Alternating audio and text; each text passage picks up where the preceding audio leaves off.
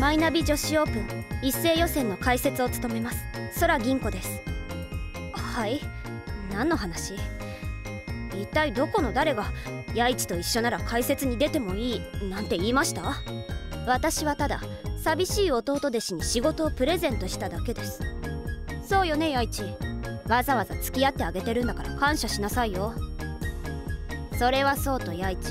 あんた才の神以下と随分仲が良さそうじゃない？何かあった？わけはあ？裸で部屋に乱入？次回「竜王のお仕事」第9局8月1日。